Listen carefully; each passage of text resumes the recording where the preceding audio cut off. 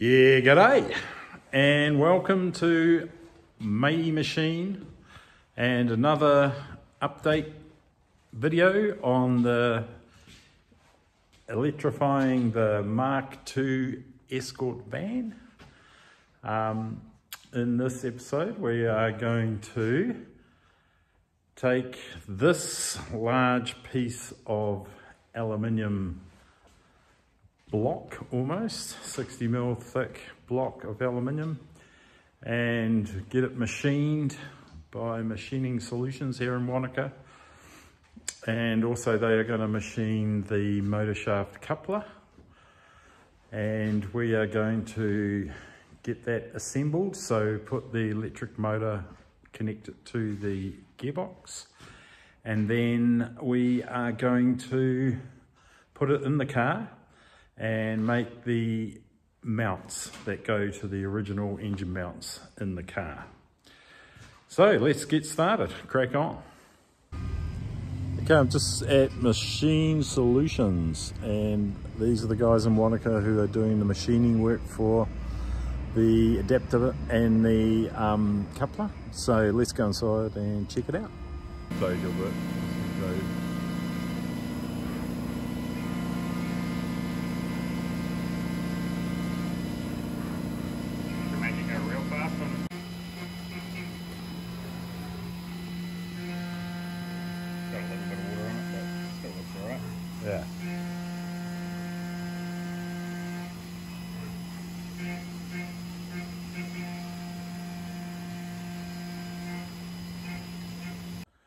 Another exciting day today. Look what's just turned up.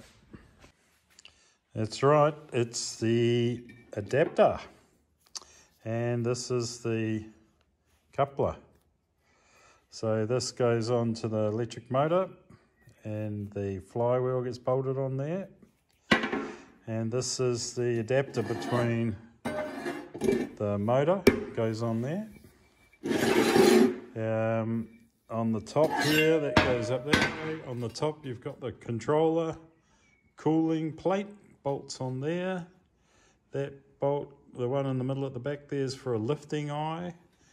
And we've got the two mounting plates will go on each side there and there and then come forward to the engine mounts.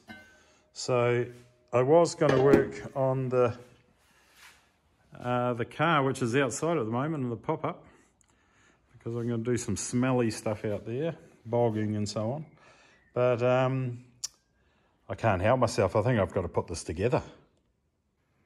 Okay, step one, I am going to put the coupler onto the shaft. So I just clean that off with some Scotch-Brite first, and then the keyway sits on in here. I'll just leave that at the top. Sorry. Um, yeah, and so get the coupler, put it in the oven at 150 degrees C, get that up to temperature, and then I'm going to pull it out of the oven and bring it over here and tap it onto the shaft or it should flop onto the shaft and then let it cool down. So let's do that now. Well, that was a struggle to say the least, but um, I've got it on and according to the measurements, it's about 0.4 of a millimeter um, further out towards the gearbox. So it should be right. Um, there's plenty of room there for a bit of movement. So now I've just put the grub screws in and next thing is to fit the adapter plate to the electric motor and keep going after that.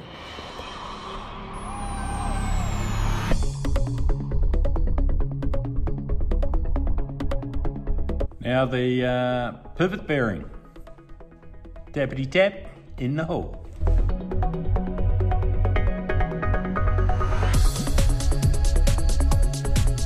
Flywheel.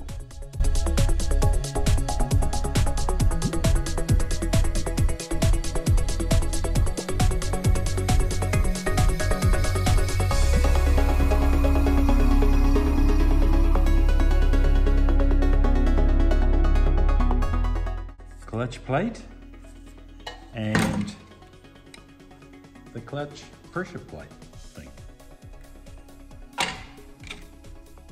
using a turned down piece of aluminium.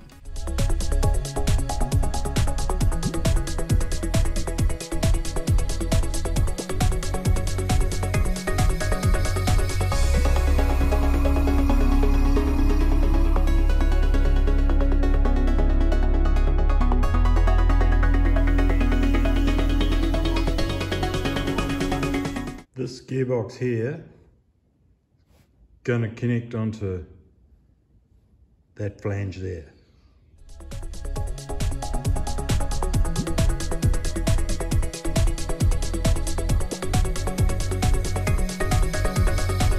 And here we have it. Um, the drivetrain all put together. It all went pretty well really. Um, there's the controller and the cooling plate which bolts onto the top of the adapter. That all worked out good. Made a lifting eye there. Um, yeah, there it is, looking good. So next step, we make the mounts. So it makes two plates that'll bolt on here. Then we'll put it in the car and then we'll make up the connecting piece for the mount.